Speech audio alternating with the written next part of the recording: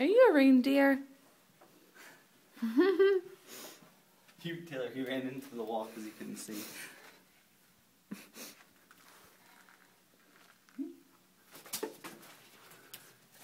Go, Rudolph. I need to paint his nose red. I think he likes it. I think he does too.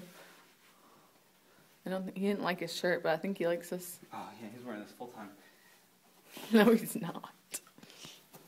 That's the bad thing about this. It's, oh, jeez. It's only for Christmas.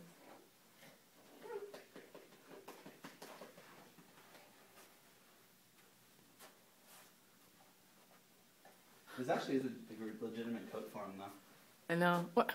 Really? It's like, I'm wearing this to Are you